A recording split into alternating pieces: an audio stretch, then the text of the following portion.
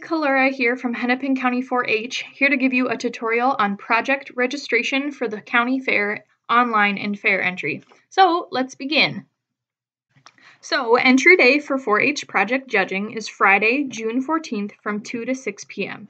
Check-in begins as early as 1.30 with the last check-in being received at about 5.15 with the hope to conclude our judging by 6 p.m. And again, we'll be at Corcoran Lions Park for the Hennepin County Fair, which is at the edge between Osseo and Maple Grove. As you and your 4-H'er are getting ready for the fair, be sure you read through our 4-H Project Premium Book, which is our extensive project and event guide for this year. You can find this document at z.umn.edu slash Hennepin 4-H Premium Book. And this year, this document is entirely electronic. When you scroll to the table of contents page, you'll find all the various sections to read through.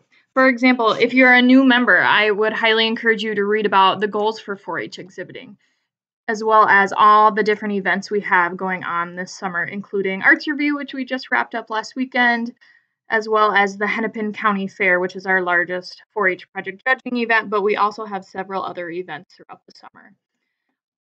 And today, for this particular tutorial, we'll be focusing on section 5 of general projects. So when you click on this document, it'll take you to an entirely separate section. And this is on general 4-H projects. And general in the 4-H terminology just essentially means not animal projects.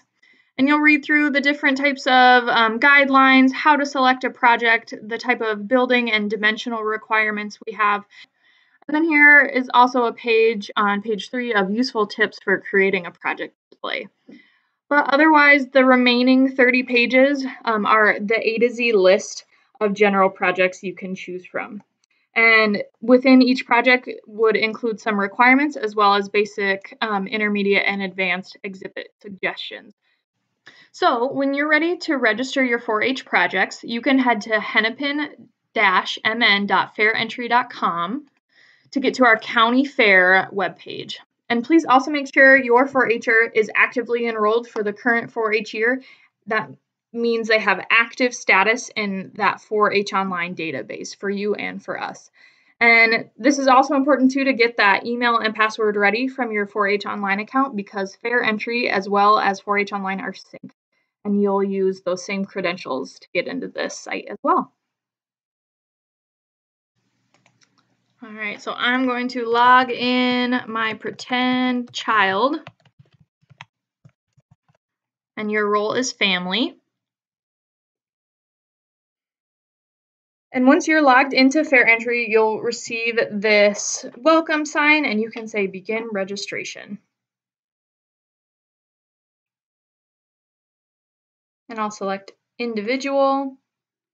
And if you have more than one child in 4-H, you'll likely see more than one profile, and you'll see um, an exhibitor name. An exhibitor is FairEntry's word for 4-H, essentially.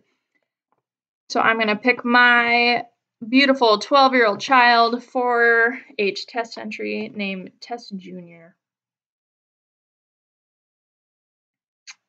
And I'll continue through this. From here, I'll continue to entries and add an entry. An entry for FairEntry terminology means projects. When you select Create Entry, you'll see our system's hierarchy or categorized 4H projects within the department and division level. You're welcome to click around and explore these different projects that are in 4-H.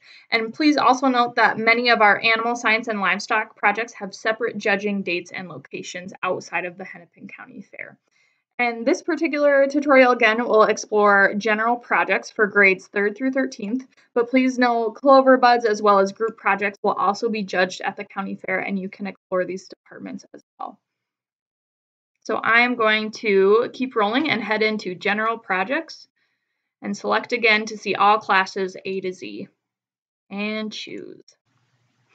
So from here, I'm able to view all of our general project areas from A to Z, just like what's listed in the project premium book, all the way down to youth leadership. And within the single page, you not only have the ability to select multiple project areas of different projects you may be bringing, but also quantify them because you can bring more than one project in a single category. So let's say my beloved child is bringing two photos. So I'll go down to photography. And it's just a regular photo. There was no manipulation or filters or anything involved like that. Let's say they're bringing two from different vacations we went on and maybe one needle art of a crochet project they did, and then one exploring the environment. And from there, you can select continue. And then you'll review your selections and notice that it separates out every single project. So you can see those individualized two photography projects that my child is bringing.